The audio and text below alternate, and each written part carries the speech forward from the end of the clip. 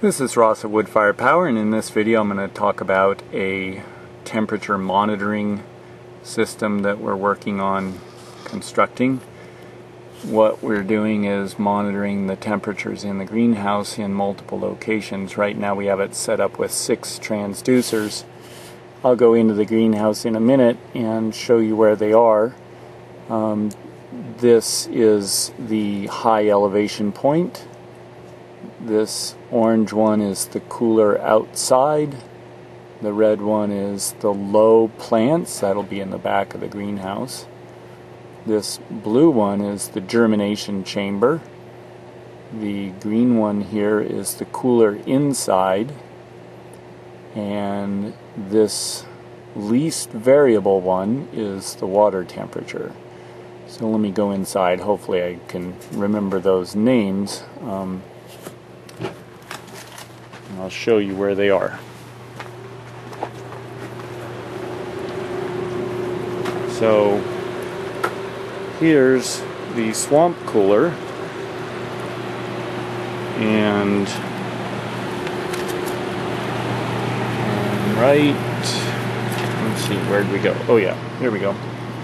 Here is the cooler outside temperature. It's out here um, and this is the air coming into the swamp cooler.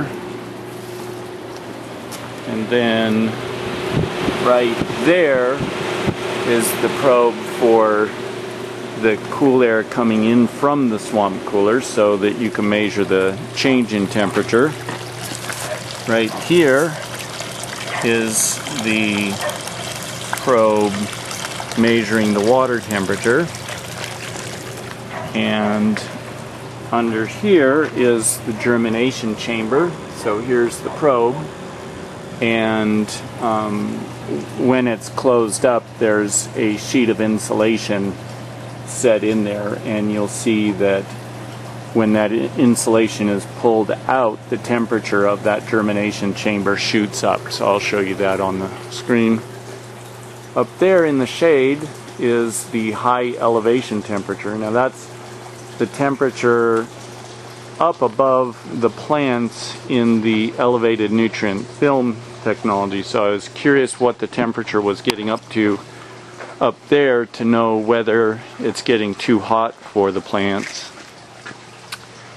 And then here is the probe, and I try to keep that hidden down behind a plant so that the sun's not hitting it and when I'm watering the plants or using water to spray aphids off, that probe can get wet and cool down, and we'll see that in the temperature record. So the cool air, if you notice the flags are blowing this way, the cool air from the swamp cooler blows to the end of the greenhouse, hits the film, and then it comes sideways. So when you're down here, you can feel cool air kind of hitting you in the face. Uh, and so that's a cooler spot of the greenhouse. And while we're going, you can see I've got the pipes back up on the overhead nutrient film technology system, or the drip line, quarter inch drip line. I'm about ready to start loading that with plants. Okay, so this video, however, is about the program. So let me show you some features on the program.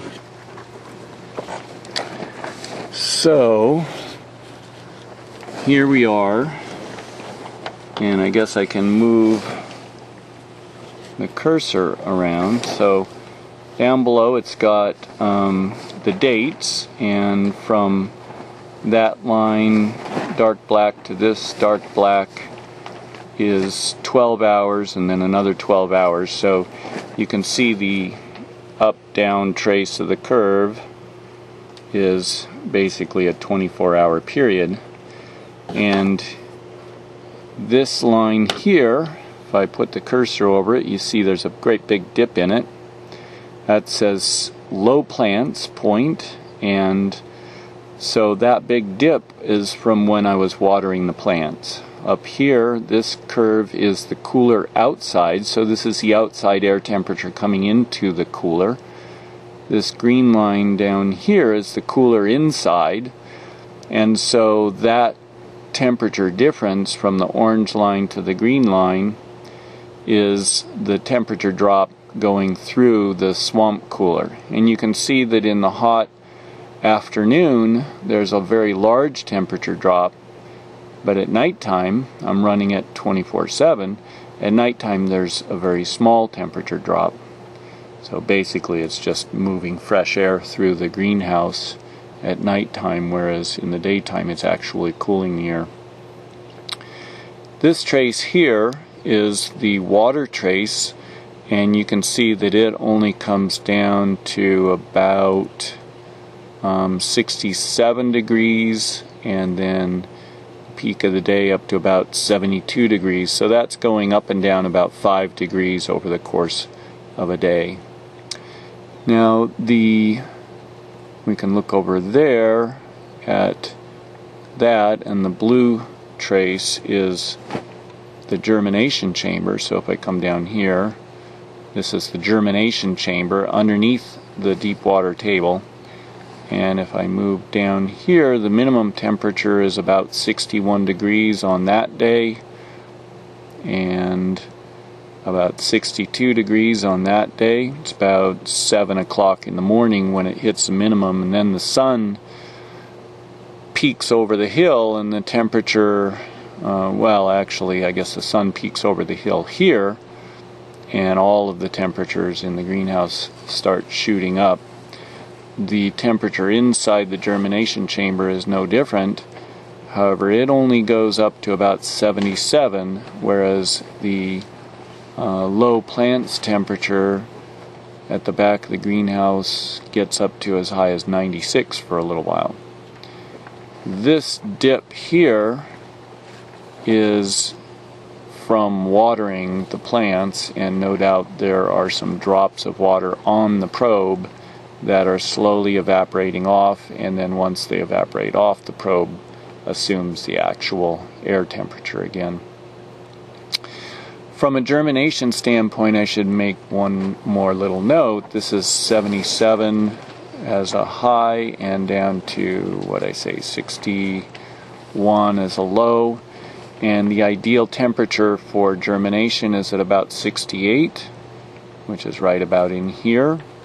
And so the germination chamber temperature is going above and below the perfect temperature by a little bit and that's um, pretty much ideal and getting really good germination as a result.